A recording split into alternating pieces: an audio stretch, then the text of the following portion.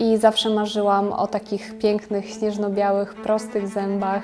No, ale to, co się wydarzyło tutaj, to przeszło moje najśmielsze oczekiwania.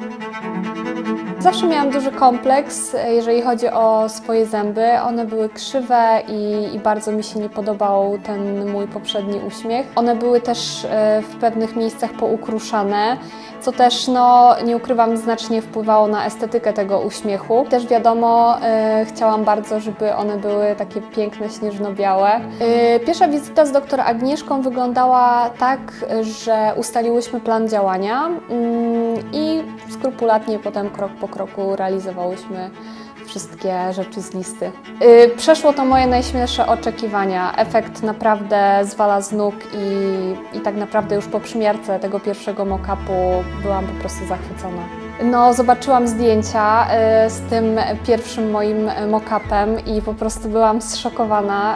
Y, nie sądziłam, że moje zęby mogą kiedykolwiek tak dobrze wyglądać. No ja nie wierzyłam, że to są moje zęby. To, to, to po prostu aż w pewnym momencie się dziwnie czułam, y, bo nie byłam w stanie uwierzyć, że, że, że ta, tak, tak będą za chwilę wyglądać moje zęby po odbudowie. Na pewno zyskałam znacznie więcej pewności siebie, częściej się uśmiecham, właściwie non-stop się uśmiecham.